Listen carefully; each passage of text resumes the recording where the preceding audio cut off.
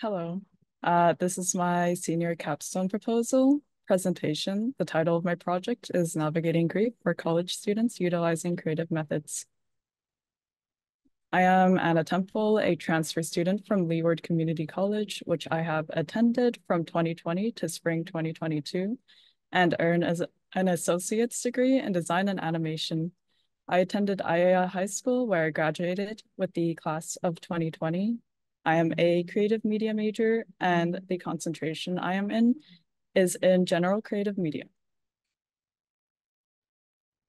For my executive summary, so first we have the thesis statement. The basis is the evaluation of grief models and building upon them to better accommodate contemporary college students who are struggling with grief.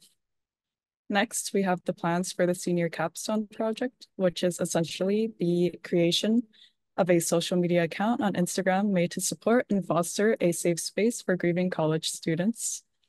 As for the third point, we will delve into the reasoning behind the research of grief and college students and why I chose the topic.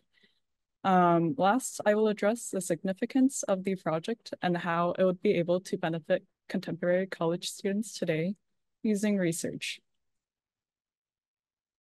My thesis statement is evaluating and improving upon grief models in the context of applying them to contemporary college students can lead to overall improved coping techniques for students through creative methods utilizing technology. As for the objective and rationale, so there are three points, or three main points, personal experience, research conducted, and the main objective. The two main points being personal experience and the research conducted for the rationale, and the last point being the objective. So the reasoning behind the first point is because as a college student myself, there are major events or experiences that I have faced in my educational and personal life. It was difficult to balance life and academic responsibilities in a time of grief or loss, which made me realize the lack of resources for students who have gone through uh, the same thing. I felt inspired to research a topic that might connect with other students. The second reason is a result from prior research conducted, which gave me a newfound knowledge on how grief models are misinterpreted in pop culture, as well as how people may be misguided when coping with grief when looking into online resources. Understanding grief models and building upon them may give others an idea of better models that best help with college students today, especially since grief models that I have researched were created in the mid to late 1900s. It let me know of the importance for the need of credible resources for contemporary students to use today. The objective is to foster a safe space for contemporary college students. There is a lack of resources online or safe spaces for them to actively grieve. Furthermore, there could be spaces developed online with reliable sources students can cross-check that may help them get a better understanding on how to overcome grief in a healthy manner. Creating a space or an account that encourages college students and giving suggestions in how they could go about their grieving process could go a long way in overcoming or navigating their grief. So for my senior capstone plans, um, my plan for the senior capstone is to create an Instagram social media campaign account to inform, bring awareness to, and give support to grieving college students with the use of infographics varying in photo and video formats, using information from trusted resources. These resources will be directly linked in the caption for users to cross-check themselves. The purpose of the social media account is to give support to grieving college students through online resources and suggest are suggested methods on how to cope in a healthy manner, but to also provide a space for them. The goal of the social media account is to have an active presence, meaning at least three to four posts weekly. These posts may consist of informational infographics, short form video infographics ranging from 30 seconds to one minute, depending, coping methods and resources, suggestions on how to cope with grief, and clarifying misinformation on existing grief models. So the first point of significance would essentially be bringing awareness to grieving college students and informing them on different potential methods of navigating their grief, which is essentially, um, which is which is essential in a college student's personal growth. The future implications that come with it is steering college students away from mental health issues, depression, and anxiety. Furthermore, educating students on healthy methods of grieving could help students avoid complicated grieving, otherwise known as CG, or post-traumatic growth. So here we have two graphs. The first graph shows the percentage of mental health clinicians who have had college student patients during the 2022 to 2023 academic school year in the United States and reported the students' top concerns. The top concerns are shown as anxiety and depression, majority due to relationship problems and family problems, although grief and loss also seem to be a big issue, making up 3.2% of the overall graph. As we see in the second graph, based on a survey conducted in the United States, a total of 41% of college students had symptoms of depression that stemmed from various reasons, ranging from loss of interest to thoughts about death.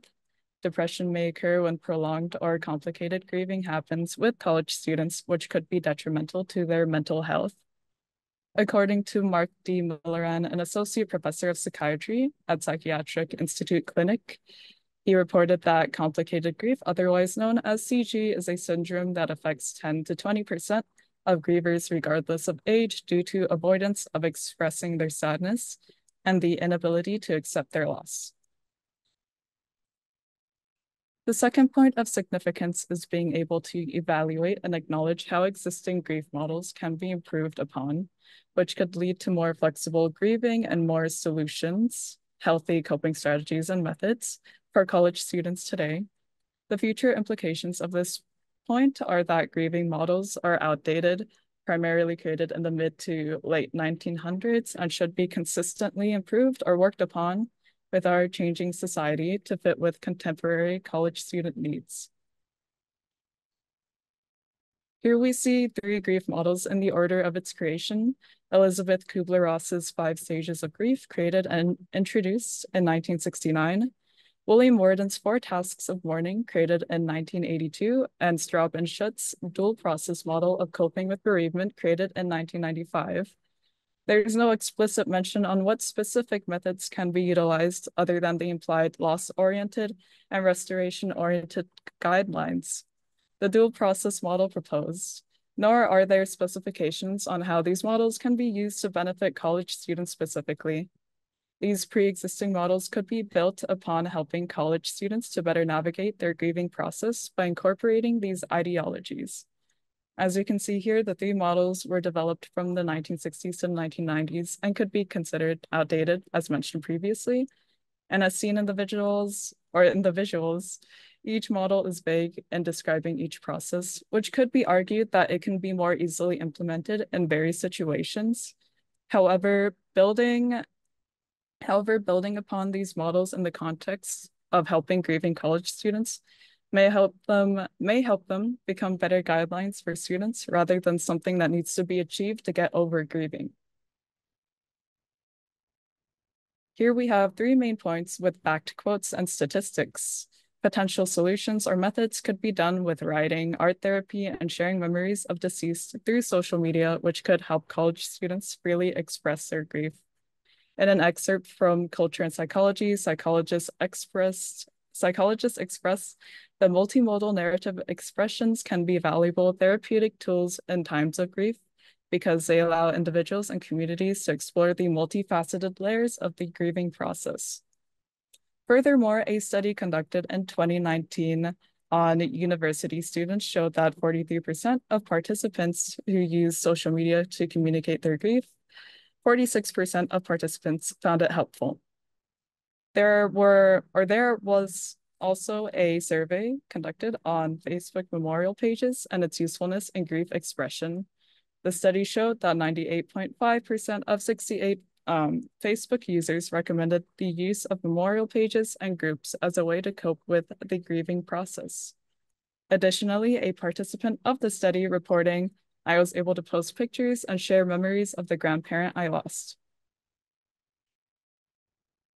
The third point of significance is preventing the spread of misinformation of grieving models and the misconception of the idea that there is a proper way of grieving or that there is a structure that an individual needs to follow to successfully overcome grief when there isn't a proper or definitive way to grieve, since individuals grieve in unique ways. The future implications of this point is to prevent recurrent misinformation and misguidance with online resources through pop culture and social media.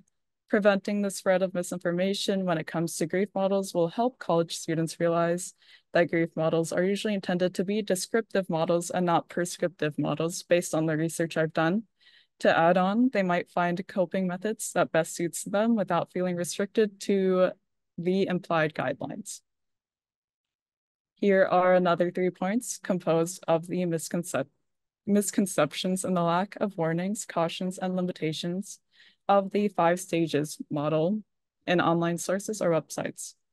The use of words such as stages or tasks implies linear progression.